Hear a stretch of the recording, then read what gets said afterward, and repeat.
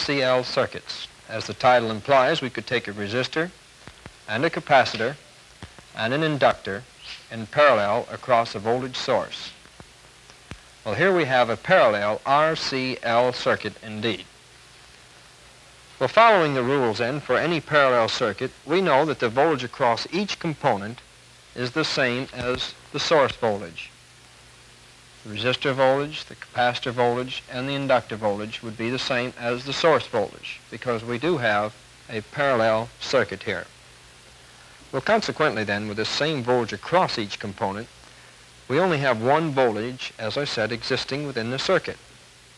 Well, looking at the circuit with respect to voltage, it appears circuit analysis associated with a parallel RCL network is somewhat easier. Well, in some respects, I suppose this is true. For in this circuit, the only vector we have to concern ourselves with is the current vector. Let's closely look at our circuit once again. And with the applied voltage felt across each component, R, C, and L, we have three individual branch currents, and they are IR, IC, and IL. Now these three branch currents form to combine our total current, IT. Now as you already know or suspected, the total current is not the arithmetic sum of the branch currents, but is the vector sum. Why?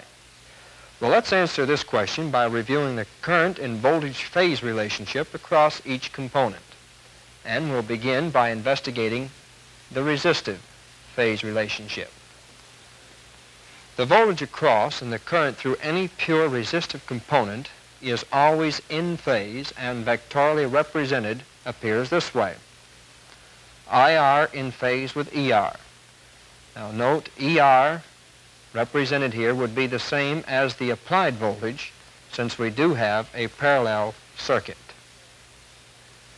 Our next current would be our capacitive current. IC. We know that the voltage across and the current through any pure capacitive component is 90 degrees out of phase. That is, the current leads the voltage by 90 degrees, such as shown here. IC leads EC by an angle of 90 degrees. Our third current would be our inductive current, IL we know that the voltage across and the current through any pure inductive component is also 90 degrees out of phase. But the current lags the voltage by 90 degrees and appears this way. IL lags EL by an angle of 90 degrees.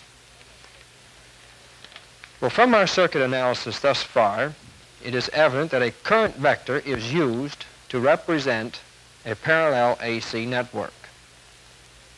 So to show our current vector for this circuit, we need to know the individual branch currents to solve for a typical problem. Well, solving for branch currents by applying Ohm's law and applying the current vectors and plotting these vectors, suppose we assume our resistor 2k ohms with an applied voltage of 24 volts.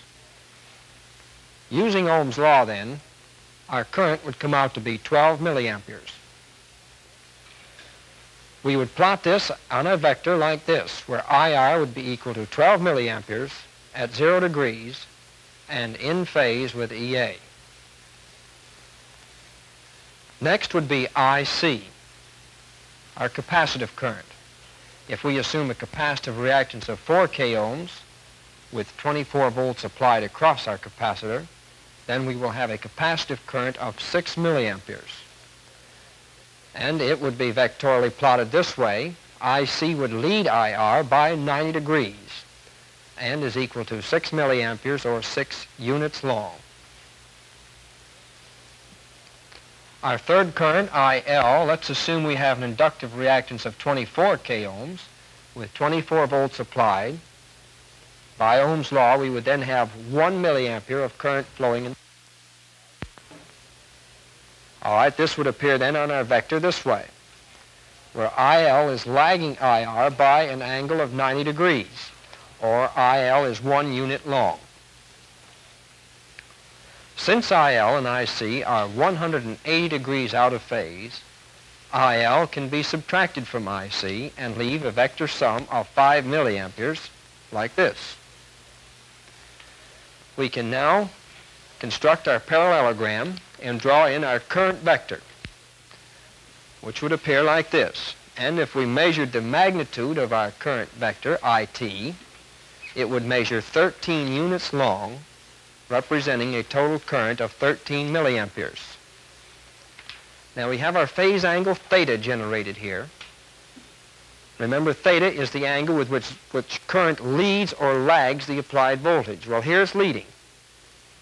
And we could measure this phase angle with a protractor, and it would measure 22, or read 22.6 degrees. This would be plus 22.6 degrees because we have a leading phase angle. Well, fine. Now that we have calculated graphically our total current to be 13 milliamperes and the phase angle to be, as you can see, 22.6 degrees, let's go one step further and find the impedance of our circuit. Once again, we can use Ohm's law. Substituting into the formula, note that the impedance is equal to approximately 1.8 k ohms. Now, although I have chosen to solve for our total current, which is 13 milliamperes, by using a graphic solution, that is, solving for total current by using a graphic solution, we can also use a much more accurate method, and that is Pythagorean theorem in determining our total current. And Pythagorean theorem comes out this way, where IT is equal to the square root of IR squared plus the quantity of IC minus IL squared. Well, substituting into this formula then, 12 milliamperes for IR, 6 milliamperes for IC, and 1 milliampere for IL, and performing the indicated operation, we can see that 12 milliamperes squared is 144 times 10 to the negative 6. 6 minus 1 is 5. 5 squared would be 25 again times 10 to the minus 6, maintaining our exponent. Adding then 144 plus 25 would be 169 times 10 to the 6. Remember, when we add, our exponents would remain the same. Extracting the square root, then, of 169 is 13. Of course, the square root of a negative 6 is negative 3, which would be milli, and our current is, of course, in amperes. So once again, we have determined by, uh, we have determined our total current by using Pythagorean theorem and our total current again comes out to be 13 milliamperes. What about the angle of our current? Well, we can use the tangent trig function rather than a protractor to determine this angle. And the tangent of angle theta is equal to IC minus IL divided by IR. Substituting into this then, you can see that the tangent of angle theta is equal to 0.4166. Well, looking at our trig table then, we can see 0.4166 is nearest to 0.4163, or the tangent of 0.4163, which once again is 22.6 degrees. So here we have determined our phase angle using our tangent trig function. Well, now that we have calculated our current, once again by Pythagorean theorem, and our phase angle, as you can see, is 22.6 degrees, we can next determine the power dissipated in our circuit, which is the true power, PT. And we can use one of our familiar power formulas. Power is equal to I squared R, since R is the only component in the circuit that dissipates power. Substituting, we can see that our true power is equal to 288 milliwatts. Now, as in any reactive circuit, we also have another power, and that is the apparent power, PA. And that is equal to the applied voltage times the total current. Substituting into this formula, you can see we have 312 millivolt amperes of apparent power. Now recall apparent power is the power delivered to the circuit by the generator. With this then, we can then determine the efficiency of our circuit, or better known as the power factor.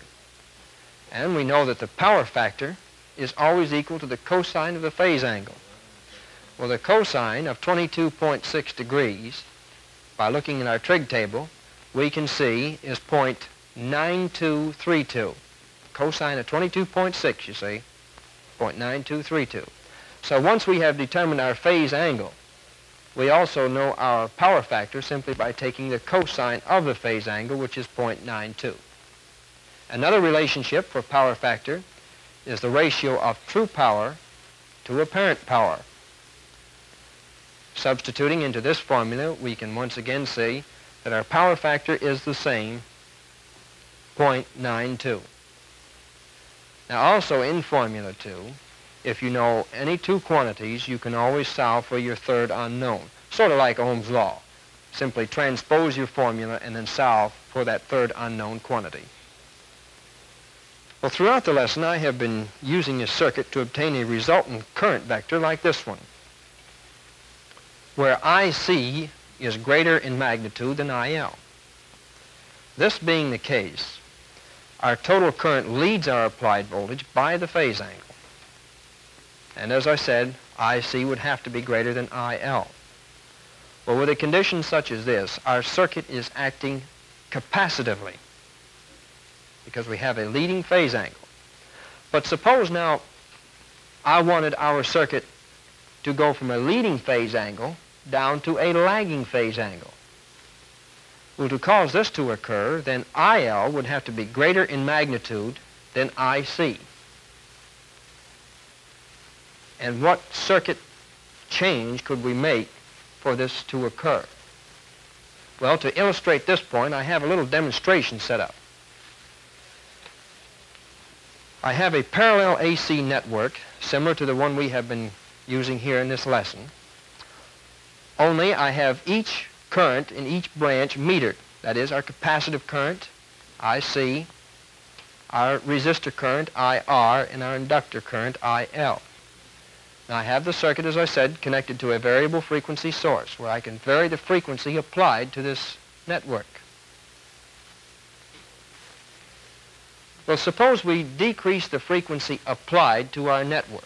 What do you suppose is going to happen to IC, IR, and IL? Well, let's analyze the situation first and determine what's going to happen. We know if we decrease the frequency applied to our network, the capacitive reactance of the capacitor is going to increase. Therefore, IC will have to decrease. Likewise, when we decrease the frequency, we're going to decrease the inductive reactance of the coil, and I sub L would have to increase. But what about IR? Does frequency have anything to do with R? No, it doesn't. The only thing that's going to change the current through R is the voltage applied to the circuit. And since we are not changing the voltage, IR should and will remain the same. Well, now I want you to observe these meters closely. I'm not so much interested in determining the actual value indicated on the meter as I am for you to watch the action between the meters. Now observe IC and IL and IR as I decrease the frequency applied to the circuit.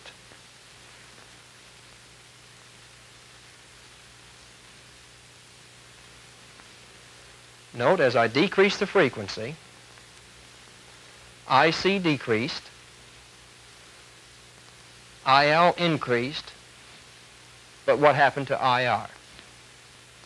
The value of IR remained exactly the same. It did not change. Well, we determined that previously that it wasn't going to change. Well, this condition would now be represented vectorially like this, where IL is greater in magnitude than IC we now have a lagging phase angle. Remember, IL is greater than IC. This being the case, then, our circuit is now acting inductively.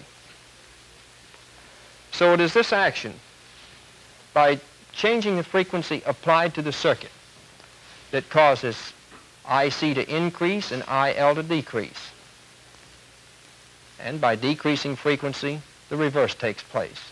But note the position of IR. As I increase and decrease frequency, IR remains the same and the circuit either acts capacitively or inductively.